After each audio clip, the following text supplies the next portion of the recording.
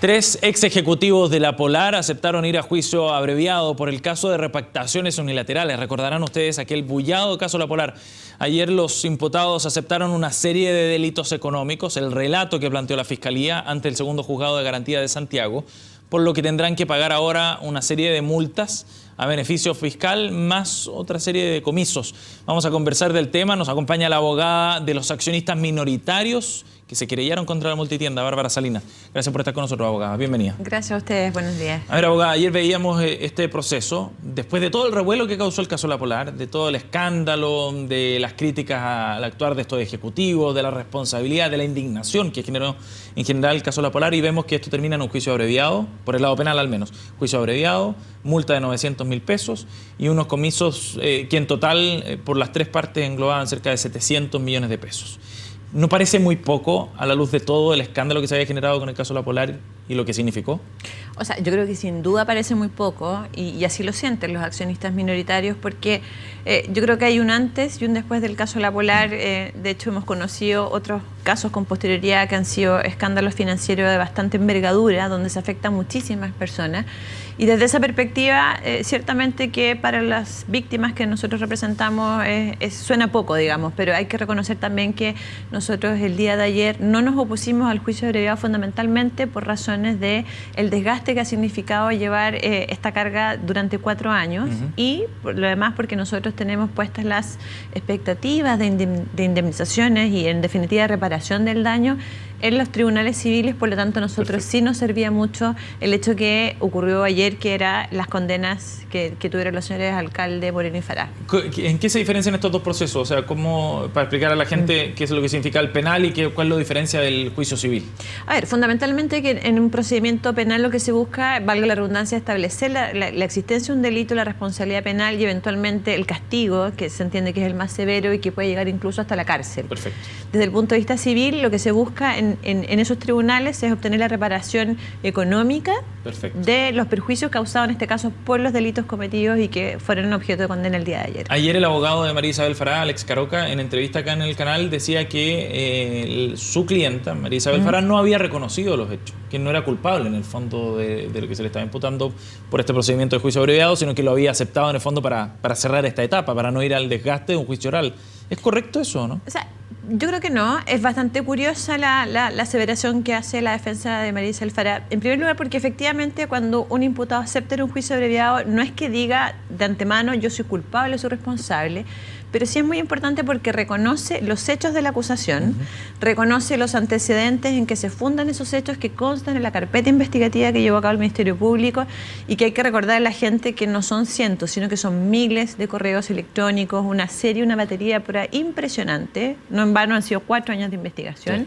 Y por lo tanto, con, con todo el mérito de esos antecedentes para el juez, el día de ayer fueron suficientes para haberla condenado por los delitos que se le acusó. Por lo tanto, esto de seguir sosteniendo su inocencia, la verdad es que a mí me parece impresentable e incluso nos parece impresentable que hasta el día de hoy la señora Marisa del Fará, por ejemplo, en la demanda civil que nosotros tenemos ya presentada, ella estando notificada, aún ni siquiera se haya acercado al tribunal a contestar la demanda o a hacerse cargo de estas, perdón, de estas acciones legales que nosotros hemos presentado. Por lo tanto, eh, no nos parece que sea una, una defensa eh, razonable. Abogada, eh, ¿qué es lo que viene en el ámbito civil y qué significa el cierre del juicio penal para ese, esa demanda civil, considerando que es ahí donde se podría buscar una compensación eh, para los querellantes?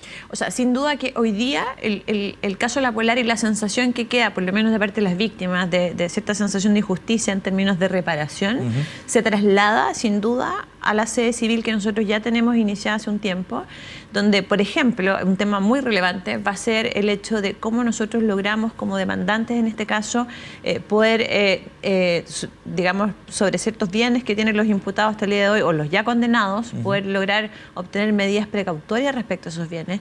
Recordemos, Sebastián, que en el caso tanto de Marisa del Fará como Julián Moreno y Pablo Alcalde, antes de que estalle el caso y luego cuando estalla, ellos lo que hacen es una serie de actos de disposición patrimonial para ocultar sus bienes. Por lo tanto, hoy día nuestra principal preocupación radica precisamente en tener la posibilidad de que el tribunal acceda a nuestra petición de poder tener medidas precautorias sobre esos bienes y que ellos no terminen burlando la justicia, así como han burlado a cientos de accionistas minoritarios que han sido tremendamente perjudicados. Ahora, lo que ocurrió ayer, estos pagos de eh, cerca de 700 millones de pesos, como decíamos, estos comisos, ¿eso no va a los bolsillos de ningún afectado por el, por el escándalo de la repartición? No, no va a ninguno. La pena de comiso va a beneficio, en este caso fiscal, por lo tanto no hay ningún tipo de reparación y eso también es un llamado de atención que hay que hacer a nuestros legisladores. Ciertamente, hoy día la forma de cometer delito de causar daño es muy distinta a la que existía cuando eh, entró en vigencia el Código Penal, que es bastante antiguo por lo demás.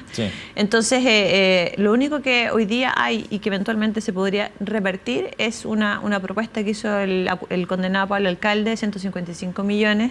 Y la verdad es que, si bien es cierto, se podría tomar como una suerte de gesto, para nosotros no es otra cosa más que tratar de morigerar o de aminorar su responsabilidad, acceder a los beneficios, porque 155 millones de pesos, Sebastián, es imposible de que sean suficientes para reparar a cientos, o sea, nosotros representamos más de 400 accionistas minoritarios, hay que considerar a los consumidores, y, ciertamente que es una cifra son que... Miles ahí. O sea, son miles, mm. entonces es una cifra que la verdad es que más que agradecerla va a generar un debate, vamos a tener que discutir en una audiencia cómo se va a repartir esa cantidad de dinero.